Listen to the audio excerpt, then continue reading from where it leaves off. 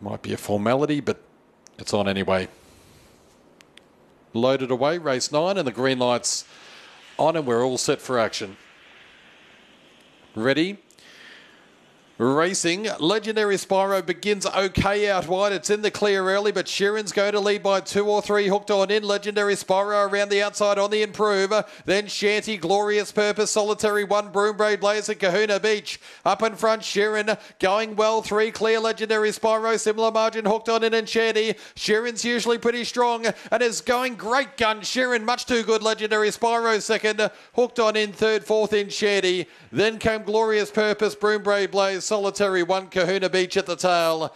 And uh, impressive Sheeran taking out race nine.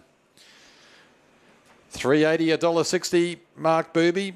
Legendary Spyro 160. Didn't ping the lids as uh, it did last week. Legendary Spyro and once Sheeran stole the march early on was always going to be the one to beat.